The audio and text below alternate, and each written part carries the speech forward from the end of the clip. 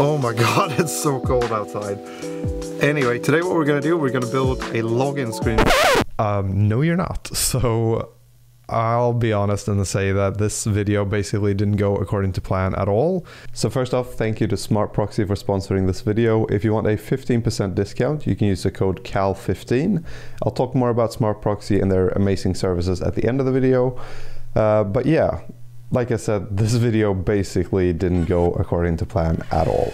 Which I guess is just like programming in a nutshell. Uh, so yeah, this video is just like me attempting to combine productive work with also what I would call productive free time and ending up somewhere in the middle, not really making much progress on anything. But it starts with a road trip and a quick snippet from my current favorite I'm sure if podcast. someone can get the dictionary definition. Yep. Yeah, we stayed in a tent outside. We cooked our food on an open fire. Yep. We roughed the elements overnight. Mhm. We packed up our campsite and we drove home. Okay, that's uh, your evidence side of things. That's what happened.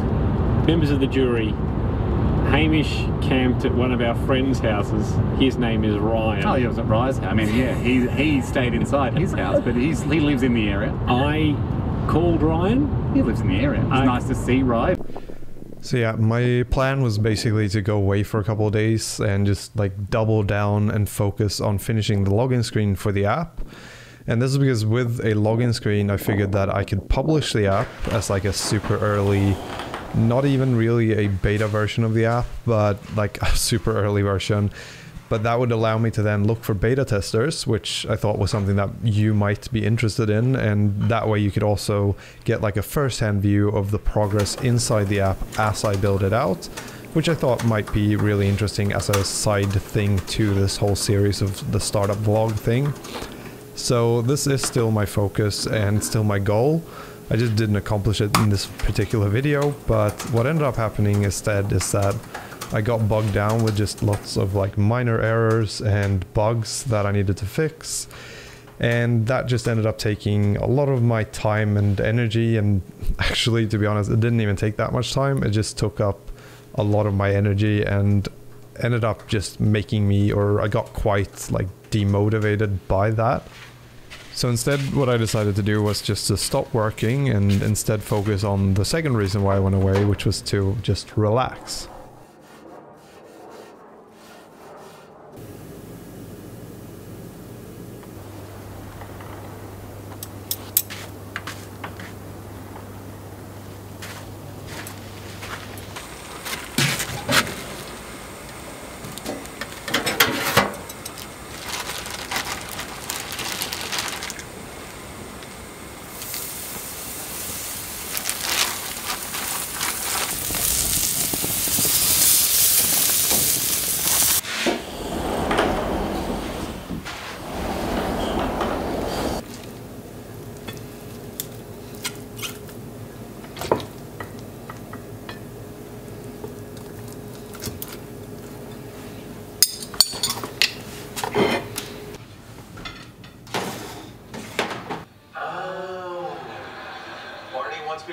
Me to take the job so bad he's putting the moves on me? This just in is what I'm gonna say when I'm stabbing you. That's impossible. You deleted his number. So I really didn't get much done that day, and I just decided to go to bed. And uh, I'm still reading the Permission Marketing by Seth Godin. And then the next day, I actually got a fair amount of work done in the morning. And my idea here was to basically work until it got bright outside and then try to go out and track animals in the snow. And the thing is that right now here in Sweden, it's dark for almost the entire day, so it's only bright for around five hours per day. And that can actually be a fairly good thing because it means that I only have five hours to be outside. And so the whole idea with this trip was to basically go outside, be outside for those five hours, and then spend the rest of my time just hyper focused working on the app.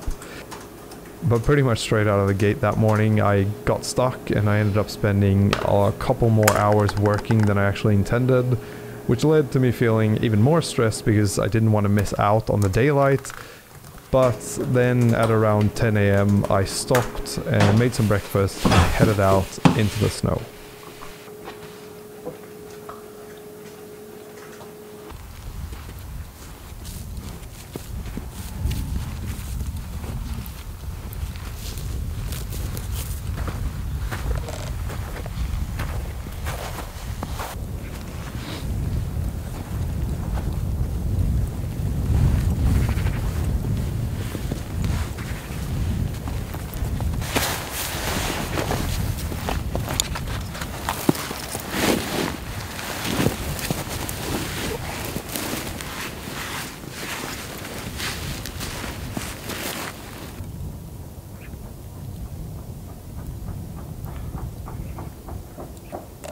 So I spent the rest of my day just climbing different mountains and looking for moose.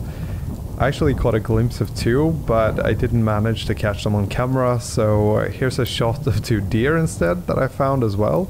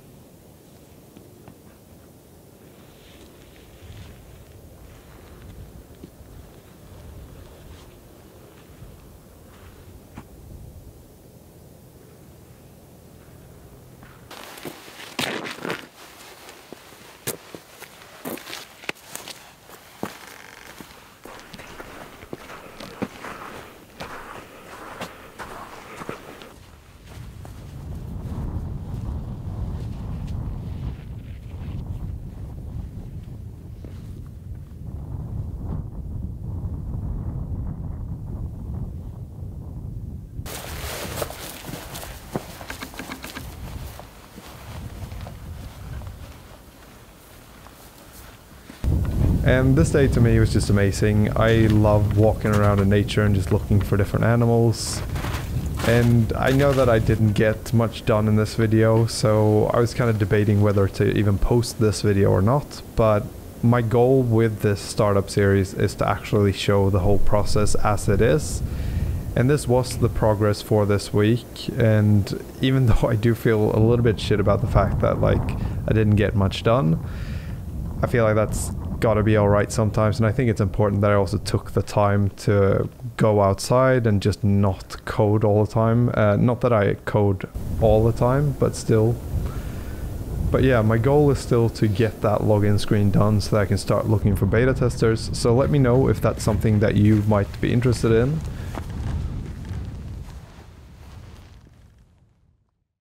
Okay, so now I just want to again thank Smartproxy for sponsoring this video and uh, being just a great choice when it comes to anything related to proxies.